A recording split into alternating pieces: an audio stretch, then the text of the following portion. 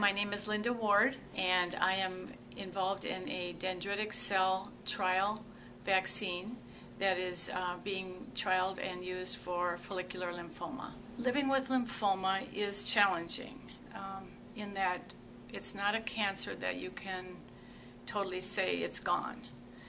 Um, so the goal is always to keep it as dormant as possible. So I think the lymphoma is um, more of an emotional battle, I find. Uh, it's more just staying positive, um, trying to live a really healthy lifestyle, eat right, exercise. I came here uh, about a year ago. Um, we were having some difficulty with some recurrent lymphoma. I was a candidate for this dendritic trial. What I really liked about this trial was it was natural, and I, they wouldn't be putting another drug into me. They would be making my own vaccine out of my own body.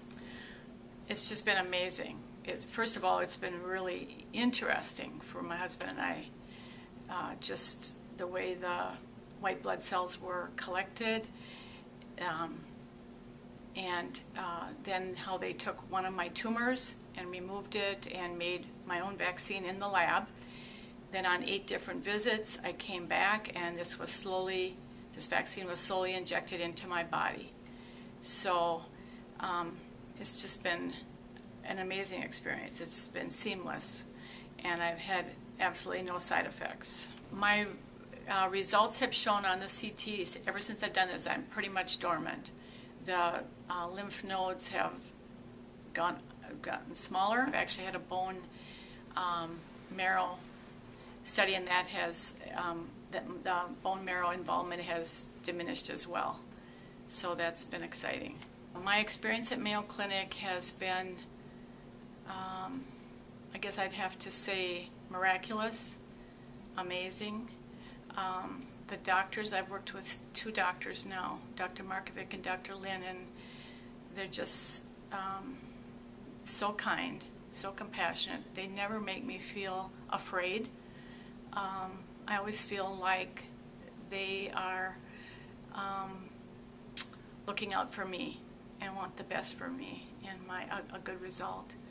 And uh, they're always really honest and so positive.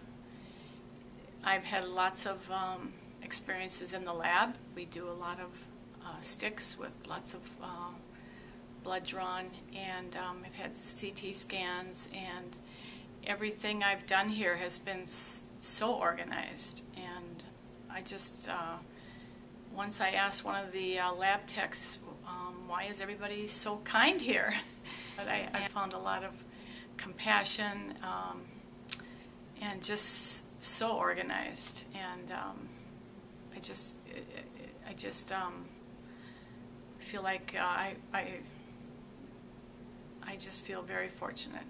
One of the um, words that my doctor has used recently when I came back after my CT is that I am considered in remission, which is um, an ultimate, something I probably never really expected. And um, so I'm just over the moon and excited about that.